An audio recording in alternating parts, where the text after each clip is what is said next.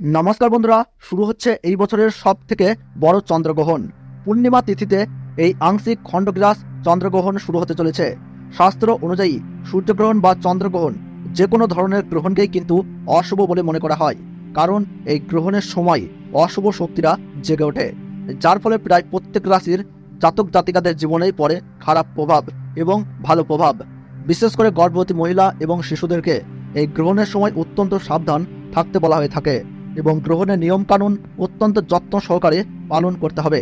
যে কোনো ভুল ত্রুটি হলেই জীবনে ঘনিয়ে আসতে পারে চরম বিপদ। তাই আপনারা এই সময় অত্যন্ত সতর্ক থাকুন। তো আসুন বন্ধুরা, আমরা আজকে জেনে নেব ভারতবর্ষ এবং বাংলাদেশের সঠিক সময়সূচি অনুসারে বছরের এই দ্বিতীয়তম আংশিক খণ্ডগ্রাস চন্দ্রগ্রহণটি কখন শুরু হবে এবং এই গ্রহণের মধ্য সময় কখন থাকছে, এই গ্রহণ কখন শেষ হচ্ছে, অর্থাৎ এই গ্রহণের সম্পূর্ণ সঠিক নির্ভুল সময়সূচি। তার ওই পাশাপাশি এই গ্রহণ কোন কোন জায়গা থেকে দৃশ্যমান হবে? এই গ্রহণের সময় গর্ভবতী মহিলা ও শিশুদেরকে কি কি নিয়ম কানুন পালতে হবে? সূতক সময় কখন থেকে শুরু হচ্ছে?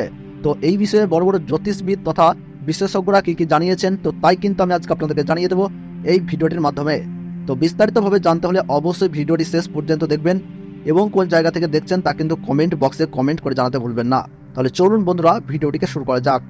জ্যোতিষ শাস্ত্রবিদদের মতে, বছরের দ্বিতীয়তম চন্দ্রগ্রহণ। কিন্তু পৃথিবীতে ফেলতে পারে বিশেষ প্রভাব।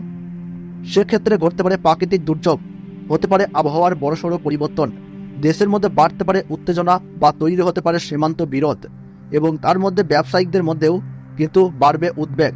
প্রায় একশো বছর পরে এই চন্দ্রগ্রহণের মধ্যেই কিন্তু এক মহাজাগতিক ঘটনা ঘটতে চলেছে, যার ফলে বিভিন্ন রাশির জীবনে কিন্তু উত্থান পতন লক্ষ্য করা যাবে। গ্রহণের সূতক সময়ে সব ধরনের শুভ কাজও নিশ্চিত থাকে।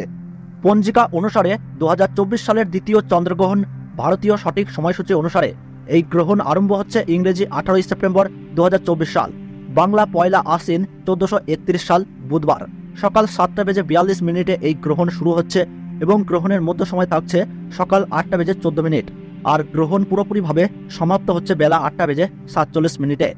এবং দু হাজার চব্বিশ সালের দ্বিতীয় চন্দ্রগ্রহণে বাংলাদেশের সঠিক সময়সূচি অনুসারে এই গ্রহণ আরম্ভ হচ্ছে ইংরেজি আঠারোই সেপ্টেম্বর দুহাজার চব্বিশ সাল বুধবার।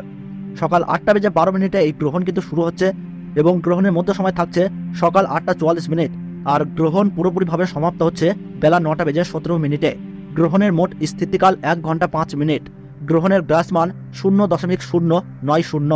এই গ্রহণ আন্টার্কটিকার বেশ কিছু অঞ্চলে ভারত মহাসাগরের পশ্চিমভাগে middle east, Africa, Europe, Atlantic মহাসাগর, আমেরিকা, আলাস্কার পশ্চিম দিকের বেশ কিছু অঞ্চল ব্যতীত পলিনেশিয়ার পূর্বাঞ্চলে দৃশ্য হইবে।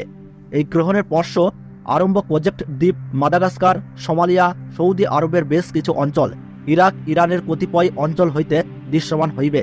এই গ্রহণের মুখ্য অর্থাৎ সমাপ্তি প্রশান্ত মহাসাগরের উত্তর ও দক্ষিণ ভাগে এবং কানাডায় দৃশ্য হইবে। গ্রহণের সূতক সময়ে সব ধরনের শুভ কাজও নিষিদ্ধ থাকে। চন্দ্রগ্রহণ শুরু হওয়ার ঠিক নয় ঘণ্টা আগে থেকেই শুরু হয়ে যায় সূতককাল এবং সূর্যগ্রহণ শুরু হওয়ার ঠিক বারো ঘণ্টা আগে থেকে শুরু হয়ে যায় সূতককাল। তো বন্ধুরা, সঠিক তথ্য পেয়ে উপকৃত হলে ভিডিওটিতে একটু লাইক করবেন এবং কোন জেলা থেকে এই ভিডিওটি দেখছেন কমেন্ট বক্সে জানাবেন। আর আমাদের এই চ্যানেলটিতে নতুন দর্শক হয়ে থাকলে অবশ্যই চ্যানেলটি সাবস্ক্রাইব করে পাশে থাকবেন পরবর্তী লেটেস্ট খবরগুলো সবার আগে দেখার জন্য। তাহলে সকলে সুস্থ থাকুন, ভালো থাকুন, ধন্যবাদ।